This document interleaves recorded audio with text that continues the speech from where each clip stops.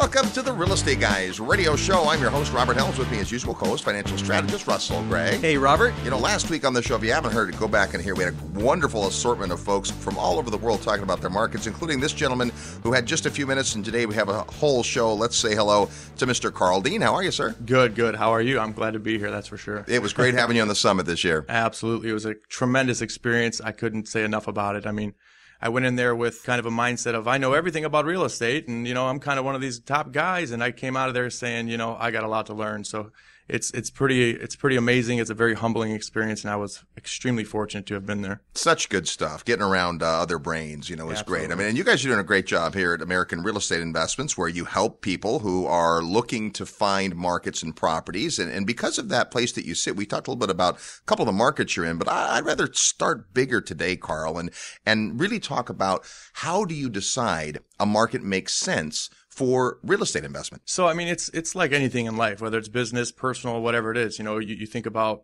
working out every day and trying to develop a phenomenal physique. It's like you get to a platform where you kind of have a good foundation, but then it's like, okay, well, now how can we make it better? It's just chiseling away at the block. Uh, but you know, there's a lot of factors that are, you know, the majority factors that we look at going into a market. Uh, and if it kind of hits those boxes, then there's additional factors that we kind of look at to just sweeten the deal. And as we get into a market, you know, just kind of tweak everything to make it as best as possible. So, well, especially because you guys work in the single family market, and yes. that would be different than if we were looking at industrial property or agricultural property, Absolutely. lots of things we talked about on the summit. But bread and butter real estate, single family homes make a ton of sense for a lot of people. And you guys have really developed kind of a methodology of market selection. Can you speak to that? Yeah. So, I mean, the first thing is just having a network and a team. You can't go into any market without a network and a team. You have to have strong people on the ground that you can trust. You got to have people that are good at what they're doing and you be able to leverage those people. Uh, so I definitely think that you know having a good team and a good system in place is is key when you're trying to do any of this, especially entering into a market to develop multiple properties. Right. But you look at things like you know the important factors are the overall cost of living, you know the age of the available assets and price per square foot, those type of things, taxes, insurance, HOAs, the things that you're going to have to kind of take out of the the formula to, to calculate your net. I mean, those are going to be large factors. Crime statistics. Are there, is there low crime in the area? Is there a lot of theft in the area? You know, you, you definitely want to get into areas where you don't have to put cages around your ACs. You know, there's, there's different things that you look for, but also, you know, a lot of job growth, migration of, of people coming there for work. And then not only that, but like types of jobs. Not necessarily oil related jobs is the best, is the best thing to focus on, but you look at stuff like tech growth and you look at financial services and non oil related manufacturing. Those kind of things are really what I look at as, as a large opportunity to kind of enter into that market. Yeah, such a good point because at the end of the day, your tenant is the one who gets up and goes to work for somebody else and earns enough money to pay the rent. And you want to look beyond just, well, I've got a tenant in my property to how long is that person going to stay? Is the job stable? Is it migratory workers or is it a stable industry? And then multiple industries. So I think you hit on some critical things. A lot of investors get excited when there is a temporary need for housing. Mm. I mean, think about what happened in the Bakken and people are like, oh, there's not enough houses. People are sleeping in cars. If yeah. there's, they, there's not enough cars. Well, we looked at that and said, well, okay, that's one reason you might want to invest there. What's, what about long term? Is, is that a long term play? Turns out it wasn't. We elected to sit out that market. And I think in hindsight, that was the right decision. A lot of folks there are upside down now because they wouldn't build if we build it, they will come based on a single driver. So when you mention non-oil jobs, we've just been through watching oil, you know, head down and down and down to the point where it's, you can't even pull it out of the ground for that and that's going to affect certain jobs. But back to your point, you want to look at the durability of the industry your tenant's employed in. Absolutely. So going back to the, the oil related jobs, I mean, you look at Texas, for instance, just to, just to name one market. And for years now, they've been giving the corporate tax cuts for other companies to come here. And they've strategically done that to try to pad themselves, knowing that at some point in time, oil is going to go down or it is a cyclical process no matter what or how, how you look at it.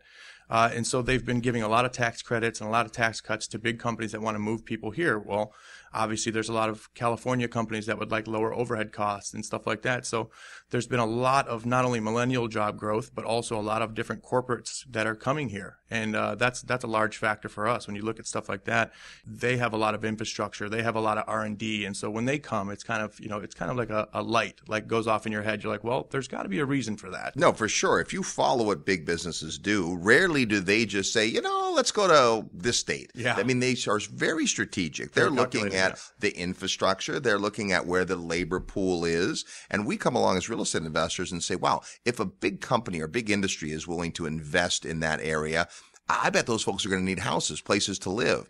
Now let's couple to that the fact that today home ownership is the lowest it's been in a long, long time. Yeah, no, I agree. I mean, for instance, I, I don't own any personal residence. I still rent, and I do that because you know I call myself kind of a real estate surfer. So I I'm very experienced in what I do, and so I don't mind chasing markets. You know, I'm not married, I don't have kids, and so it's easy for me to say, hey guys, this market's appreciation is kind of narrowing out.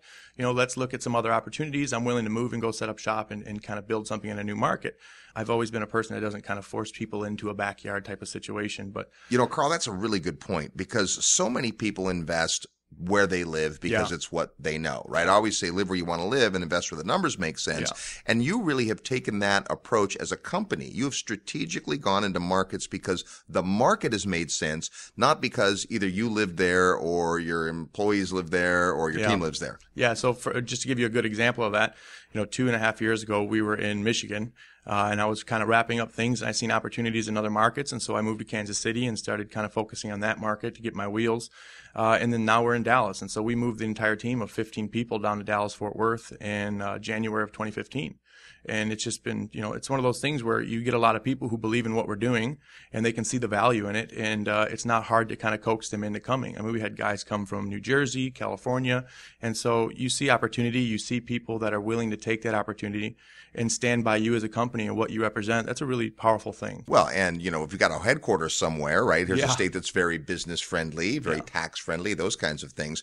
You know, one of the things you started off with was just kind of the cost to do, if you will. What's the Mm-hmm. properties you can acquire? What does the cost basis look like and so forth? You know, if you look at a market like California, or New Jersey, those are generally higher priced markets. And, and why Texas has gone up in value over the last 10 years or so, uh, it's still overall a, a very value rich marketplace to be in. Oh, absolutely. I mean, you think about, you know, the Fortune 500 companies, for instance. So, you know, Dallas Fort Worth grew to the fourth largest metroplex over the last year, surpassing Houston. And uh, you look at Texas overall or Dallas Fort Worth overall, and as far as the major metroplexes, you know, we have the, I think it's the fourth largest uh, population of Fortune 500 companies.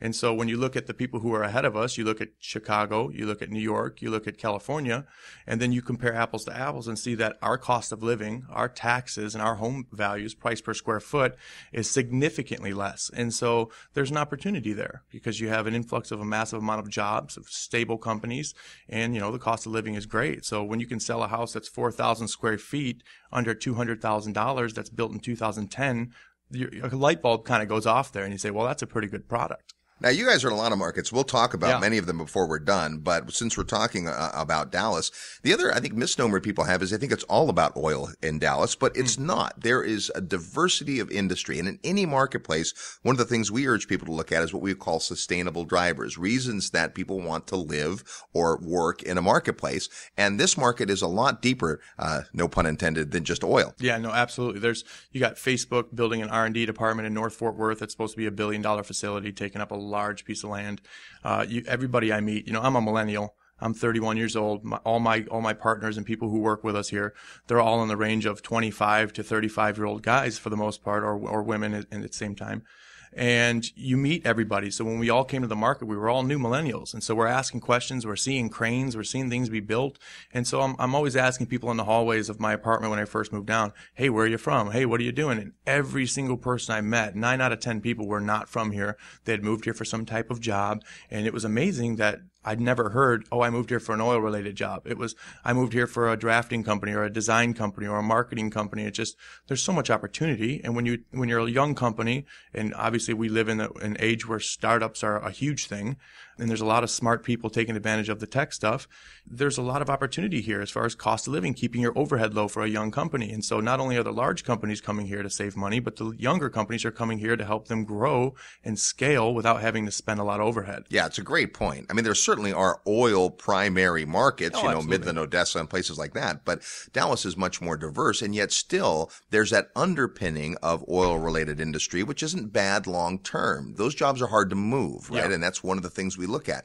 We talk about companies moving to Texas because of the economy and because of the business friendly nature of the market. Uh, and other markets are losing companies and people because yeah. of the opposite. So if we're studying markets, we want to know where people are going. Where's the puck headed? Absolutely. And there's, there's, there's a lot of ways you can track that, you know, and it's best to think outside the box. And so for one of our things is we say, Hey, let's contact someone who's a high up at U-Haul, which a buddy of mine has a friend. And I say, Hey, where's all the U-Hauls going? You know, there's a lot more U-Hauls coming into Texas from California and these, these high dollar markets than there is really anywhere else. And so you look at those things and those those might not be things that a lot of people look at but those are things when you get in this business and you're kind of seasoned you kind of say well let's look outside the box let's yeah. try to really figure out who's moving where and let's get some real hardcore facts and data on that that's awesome we call that a, a clue you know the whole yeah. if you look at the one way rental rates right and it's drastic and yet that you're right that's something most people aren't going to do.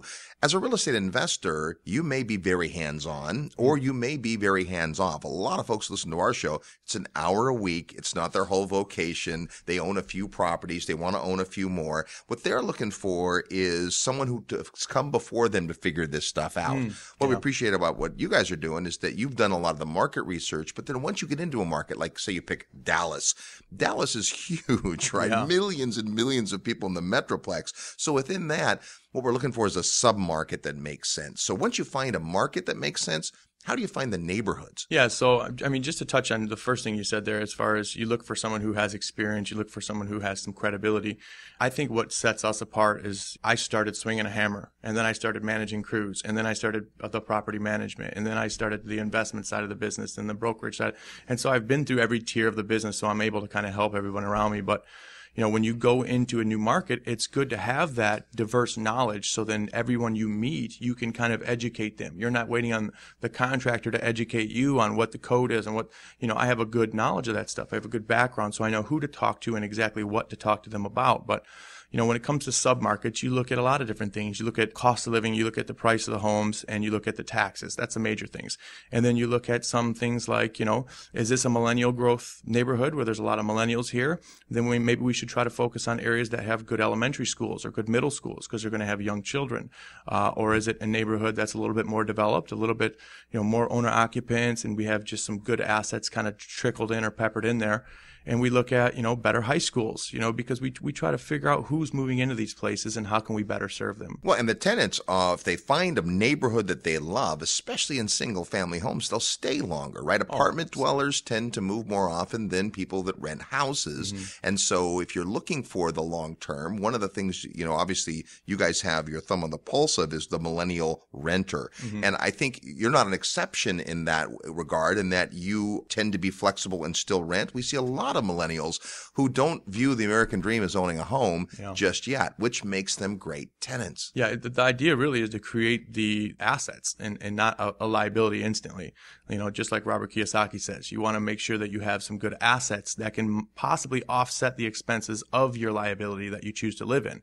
A liability obviously referencing a home. And so, you know, when you go into some of these markets, it's it's very important to know that you could be leaving, you could be moving, but me myself, I look at it like convenience. I mean, everything in the world is based around convenience. How much more convenient can we make it for the tenant? How much more convenient can we make it for them in any way? So, we try to make sure that the homes are close to the schools. They're close to a lot of the, the grocery stores, things like that. You know, we want to make sure that the process is super convenient and that they take pride in the asset. It's definitely, there's a lot to it when it comes to really focusing in on what type of tenants you want. You know, the corporate relocation tenant for us is a great tenant. They're a tenant that they pay a little bit more for the rent. They want a nicer place to live. They probably own a home from wherever they're from after having to relocate. And so they have a little bit more care for the home. And so in turn, I try to do a little bit more on the rehab side because I want them to take pride in where they live and not feel like they live in a rental property. You know, me myself, going back to the convenience thing, again, I'm renting right now. Uh, I rented last year. Although I moved, I, I, probably will stay in my rental property that I have now. It's, I'm in a house uh, for a couple years, and just because it's convenient, my office is here. I got a lot of things going on. I'm building my assets, and so why move? Why have to deal with the headache of moving and, and trying to deal with all that? It's just like I want to be able to get up and go at any given time because that's the opportunity. And when, when you can act fast on an opportunity and take those risks because in, in your, I guess in your profession, they may not be risks. You know, in my profession, I'm very good at what I do with the real estate. So if I see an opportunity, I can jump on it very quickly. And that's kind of what separates me from a lot of the people who are piddle paddling around with real estate or, or might be considering a deal. You know, I jump on it quick and I can realize it. Our guest today is Carl Dean, Managing Director of American Real Estate Investments. When we come back, we'll talk about some of the other markets that he and his team are in, and also how you pick the right property that's got a tenant ready to go, the turnkey nature of it. We're also going to play real estate trivia next. You're tuned to the Real Estate Guys radio program. I'm your host, Robert Helms. Live nationwide. You're listening to the Real Estate Guys. Find out more at realestateguysradio.com. We're talking with Carl Dean about markets, how you pick a great market, and of course, how you pick a property. Carl, before we get specifically into the properties, let's talk about some of the other markets that you guys are in because obviously strong, not only in Dallas, but other Texas markets as well. Let's first talk about the Texas markets that you've selected and why those make sense. Yeah, so I mean, the Texas markets are very similar. The demographics are very similar between the tenants and the job growth. Um, San Antonio has also been leading the race when it comes to a lot of millennial migration. And so obviously Houston, even though the oil's down, it's still a large, large, large part of the community. And so these are our assets that we choose to purchase that are what we call our A-class assets. And that is because there is so much corporate relocation, and there is so many good jobs coming here that you don't have to really deal with some of the lower end tenants that could be a headache. And, and I'm not saying that they all are, but you know, one thing I've learned over doing, you know, over a thousand assets across the United States is I prefer to deal with people who are just easier on me. you know, this is a great, great point because just like you pick a market and markets have personalities, Russ talked about at the beginning of the show, understanding your customer, who your client is and, and showing up a certain way, if you will. And properties that are just a little above mean and maybe have that A kind of uh, tenant, they're going to charge a little more. Mm-hmm. The performance from a percentage may not look as attractive, but at the end of the day, you're not up at night worrying about the property or the person living in it. Yeah, and so that's you know that's a really popular product with a lot of the people who are rolling over IRAs and doing the solo 401k rollovers. They come to us a lot. I mean that's that's been we've had a serious influx of of people coming to us that are kind of coming from that demographic, and they want to purchase something that's safe. They don't want to roll over their 401k and put it at risk by trying to flip a home or buy a lower class C class asset, as I would call it you know, we look at those things and say, how can we make sure that we service them and give them the best possible asset that's going to be super, super passive, uh, something that they're not going to get calls on. And, you know, there's a number of ways we do that. So number one is we make sure that we're buying the higher tier assets. You know, when you have a 1200 minimum rent bar set for your A class assets, that's a pretty big security deposit. And, you know, you're dealing with someone who really likes to take care of the home because the finishes are really nice. So they take a lot of pride in that. And they also want that big security deposit back at the end of their stay. Yeah. You know, our average tenant stay down here is about, th- about three years. Uh, and we're pretty much 95% occupied at any given time because there's almost a waiting list for any of our properties that go on the market. We've become well known with some of the property managers as far as providing assets that are super quality. Uh, and so that's something that we really love to offer to the IRA clients. And, you know, it's a very passive asset. Like you said, it's a, it's a little bit lower cap rate when it comes to the net cap rate, but it's something that's warranted for the first year. We make sure we stand by our investors. We want to see them succeed.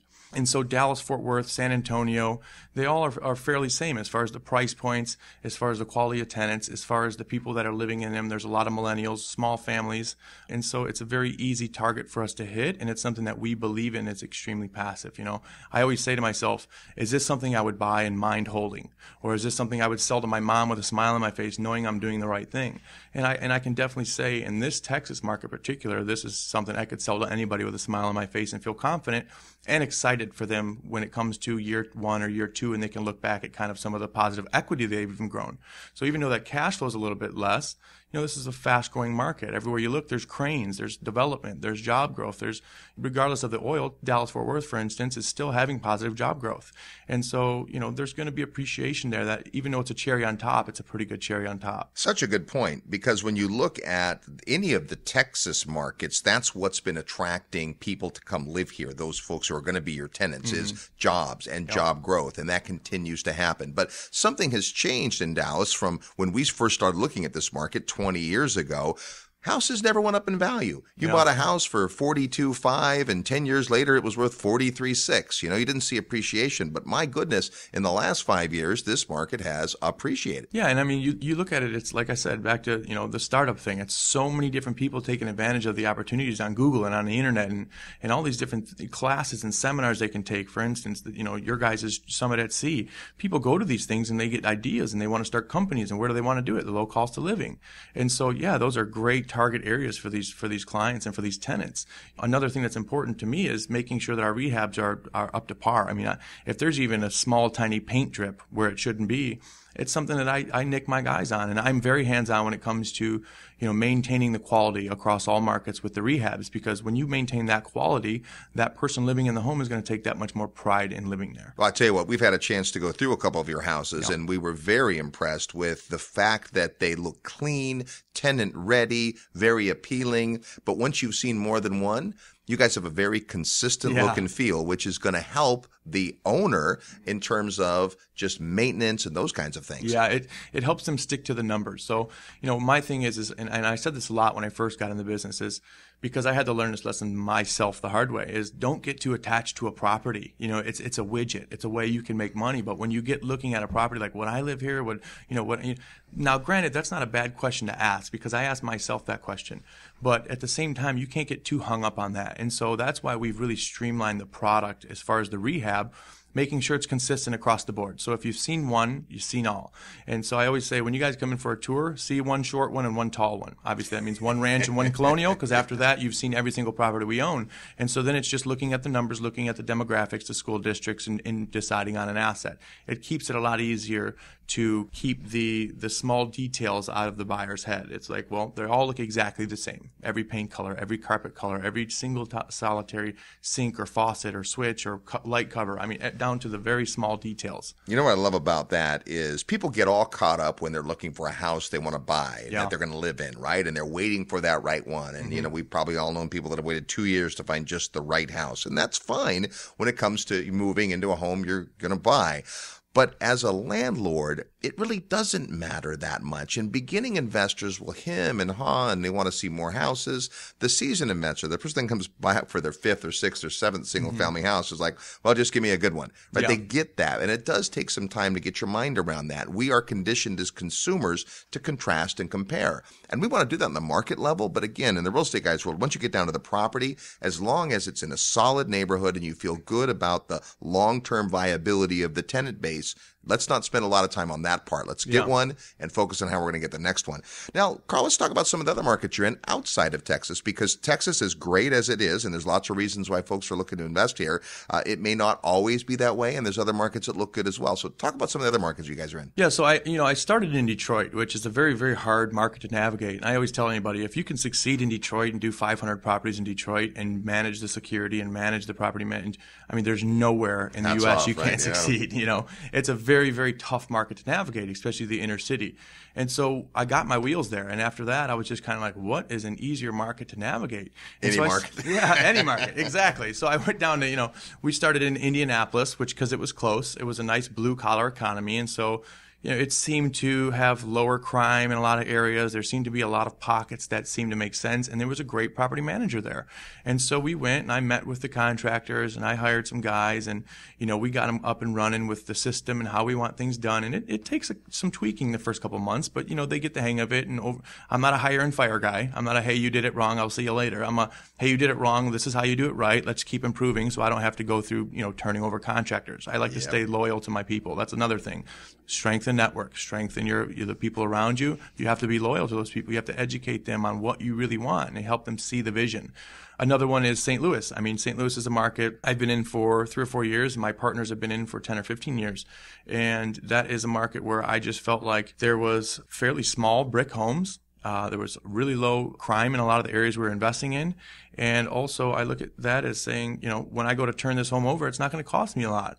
Uh, and also, the taxes are really low. And also, the crime is really low. And also, we have a great property manager. You know, so I look at all those things and I say, okay, well, let's continue to sell this market. Now, for a while, we were we were going to start focusing on strictly Texas, but what we learned was there's a lot of people who we've been dealing with for a lot of years that want consistent product. We have brokers who sell 20 or 30 homes of ours every month. And so those guys, you know, you, are not going to turn away that business. Now, we have turned away business from guys that we sold 200 properties to in a year because they wanted more of a C-class asset that I feel is a little uncontrollable on the property management side, just on a large scale. Yep. If you live in the neighborhood, you're familiar with the neighborhood, it's something that you can manage. But overall, you know, the St. Louis market is just a market where I feel like we have a lot of strength. We have a lot of good people on the ground. There's low taxes. And again, now it's jumping right back on Forbes radar and saying that there's a lot of tech growth. It's the number one most affordable housing market for college graduates with opportunities for jobs, even beating Houston and uh, Dallas. And so when you look at that, you're like, okay, there's something there. So instead of just doing five or 10 or 15 a month, okay, maybe it's time to ramp up. And so we kind of, we, we move our chips around. You know, the oil starts to get a little bit of a worry or a concern in Houston. Maybe we put more chips over in San Antonio. We send more money to the auctions in San Antonio and less in, in Houston Houston because a lot of the uneducated investors are going to back off. And so we have a lot more opportunity on the MLS.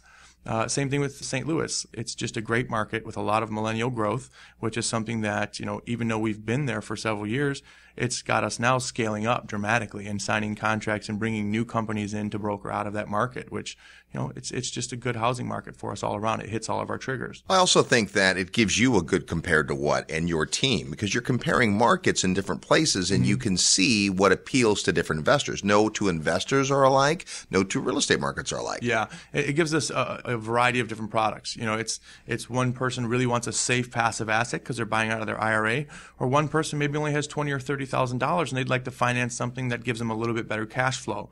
Uh, uh, that makes sense to me. As long as there's that, that barrier between that B and what I call a C asset, which is in my mind about an 850 rent. You know, we don't do a lot of Section 8 stuff just because of, you know, I don't like dealing with bureaucratic systems in the government, but there's that tier. And as long as you stay above that 850 tier in my mind, you get a better quality tenant. And uh, St. Louis, we get a lot of 1000 to 1050 $1,100 rents. And to me, that's, that's a great rental range to where you're going to get a pretty solid tenant in there. So, yeah. You know, Carl, one of the things people have to look at today is competition when they're out looking for properties, oh, yeah. right? We've seen all the hedge funds come through and we've seen when there's a market that's strong, there's a lot of demand. But you sit in an interesting seat because of your volume. You're able to get properties that the average person's not. And of course, because of your model, which is to provide those to investors, that lets them kind of sit on your side of the table. What does it take to get inventory when a market's strong? Well, it's again, strengthen your network. So a little trick that I teach a lot of guys uh, when they're starting out, this is something that I did that made me extremely successful. So when I was in the Michigan market, when I got out of Detroit and actually started doing higher end assets, I started doing my real estate brokerage. I would give up my commissions and to all the other agents, I would research all of the agents who were selling all the assets that I wanted to buy, you know, the price ranges, the, the locations. And I would reach out to them and say, Hey, listen, I'm a buyer. I'm a broker. I'm very, very serious about buying. I have the cash and I will come out to this property within five minutes of you posting it. If you just let me know and I'll shoot out there and you can act as my buyer's agent you, I don't need the 3% commission right. because I'm running the numbers on the house. And so what that does is it creates a massive amount of people as you build that network that send everything to you first because they already know in their head they can represent you and make double the money. So that's kind of a little trick that I teach a lot of guys going into a market trying to get more stock is what I go stock is what I call homes. But, uh, and then also, you know, we're always on the auctions. We're always doing mailing lists for short sales. You know, there's, there's a hundred different avenues, but, you know, I can't say one is better than the other. But what I can say is when you have a strong network of, of wholesalers and real estate and agents around you that get the investment side of it, and you kind of give them that extra cookie on the side, then it and it helps. You know, it just helps deal flow. It helps a lot of a lot of people try to you know, send you deals and they know who you are and they ask you to come to their events and meet more people. And it just, you know, it's in the network again. Good stuff. Well, there's a lot involved with picking a market and picking a winner when it comes to a property. And we talked about a lot of things today. We've asked Carl to put those thoughts together in a quick report on how you can pick the right market and pick a winner. If you'd like to get a copy of that, all you have to do is send an email to winner at realestateguysradio.com. Winner at realestateguysradio.com. Well, Carl, it's been great uh, catching up with you and uh, certainly great to have you on the summit and uh, two shows in a row. That's, uh, that may be a yeah. record. But uh, but thanks for all of all of your great uh, expertise and uh, information today. No, I definitely appreciate it. And that's you know, we're doing pretty well here. I love you guys. It's great to be it's great to be a part of your guys' association and your your group of uh, very intelligent people. all right, well keep up the good work. More when we come back. You're tuned to the Real Estate Guys radio program. I'm your host Robert Helms. Hi, this is Peter Schiff, and you are listening to The Real Estate Guys. And welcome back to the Real Estate Guys radio program. Oh my goodness, just a wealth of knowledge from Mr. Carl Dean. Yeah, there was a lot of really good stuff in there, so I'm really happy that he's putting it together in a report because hopefully people were listening to this and taking notes. As is my style, I have about two pages of notes. And, you know, the thing he closed on, I thought was just so powerful. We talk about this all the time, but it's easy to miss. Real estate has become hot again, right? We went through the trough where, you know, it was just, you could buy anything you wanted. It was super cheap because real estate was a pariah. Nobody wanted it. Now it's hot. You know, I read reports how home equities come back and, you know, there's all these renters out there. And of course, we know in, in the apartment space, cap rates are squeezed, but in the residential space, all the hedge funds coming in. So this is something we've watched evolve. But, you know, he talked about, well, how do you compete in, in a market like that? And he goes, well, I give something more to the guy that is controlling the inventory because I don't need the 3% to have my deal make sense. I can't tell you how many people are out there trying to make their deal make sense by squeezing providers, by squeezing real estate agents. And they just don't realize, you know, when they're doing that or on the flip side, right? They go to sell the inventory if they're flipping a property and they're like, you know, I'm not going to pay as much commission. I'm going to, and they shoot themselves in the foot. And people who don't understand the way the business works don't understand. You just put yourself at the end of the line. He must have said three or four times, strengthen your network, strengthen your network, strengthen your network. This is a people business. And if everybody doesn't eat, if you don't make it worth it to everybody, if everybody doesn't get what they need out of the deal, you're not going to get deals. Yeah, absolutely. You're looking for any advantage you can get. So you could come into a market that Carl and his team are in and try to compete with them for inventory. Or you can come alongside saying, here's a group that spent 10 years getting these relationships to be able to get this inventory and they know where the bodies are buried. They know how to rehab the property. It just makes such better sense. But that's a mindset. People think, well, I could do it myself. I could save that commission. I could save the money on the paint, all those things. You're majoring in the minors. It depends on who you are. I'm not saying you can't roll up your sleeves and get work done. There's people that listen to the show. That's what they do. They rehab houses and they make that spread. Most people, however, are so busy with the rest of their lives. The last thing they need to be doing is spending their weekends fixing up houses or bidding and losing, which can be completely frustrating. Instead, when you can come along someone who's doing, it's our whole idea about the Federal Reserve, right? It doesn't matter whether you like what they're doing or not. If you can see what they're doing and learn, you can come alongside and invest in a way that makes sense. Same thing when it comes to someone who has earned their stripes in the real estate business. Well, I mean, there's a mentality there. In coming back to this notion of it, to me, it's scarcity versus abundance. If you have a scarcity mentality, scarcity breeds scarcity. And so if you don't have enough deal flow, you're probably got scarcity. If you don't have enough cash flow, you probably got scarcity. He talked about being loyal to his contractors. He made a big deal about that. Hey, if you make a mistake, I'm going to train you. I mean, if the guy's a bad person, they're they're not honest. Of course, that also somebody who's dishonest or steals that scarcity mentality, right? There's not going to be enough, therefore I have to take what I can and take my risk. You see this all the time. But what I was picking up as I was listening to Carl, I was getting greater insight into his mentality in terms of how he actually does business. You know, instinctively, as I've gotten to know him, like I really like this guy. I like the way he operates. I just really like it. But now as I'm listening to explain his business philosophy, I'm like, okay, now I understand why. He sees the big picture. He thinks in abundance. He wants to train. He creates win-win. He's concerned about the asset, the neighborhood. He wants to attract the right demographic. You know, I don't want to get involved in Section 8. It's brain damage. You know, I'll do it, but I don't want to, you know, and, and the idea that really looking out for the people that are coming in with their IRA money. He said that two or three times too, which I thought was really powerful. Again, it's not just, hey, I'm not just trying to get in and out of this property right? A lot of people in the real estate business are just about the transaction. Let me just get in, let me get out, let me make my profit on to the next thing. This is more about the relationship. This is more about taking care of people and building a brand, building a, a reputation. And when he said strengthen your network and he talked about how he does that, practical tips, I thought that was gold. Well, it's what Jim Rohn would call enlightened self-interest. If they do a great job for you as a real estate investor, you know what you're going to do? You're going to buy more. You're going to want more houses. A, a, single family owner occupant can really only occupy a house. I mean, they could have a weekend place, but they're going to have a house at a time. And, you know, the typical average person's going to have a new house every 4.7 years or whatever that looks like. An investor could buy a house a year or a house a month. And the idea of starting with taking care of those folks and thinking through that long-term perspective just makes sense. And it's amazing to me how few people actually think that way. Well, the other thing he talked about taking care of was the tenant. Remember how we talked about convenience? I want to make it convenient for the tenant. I want to give them a home they're going to take pride in. Where does the cash flow come from? Exactly.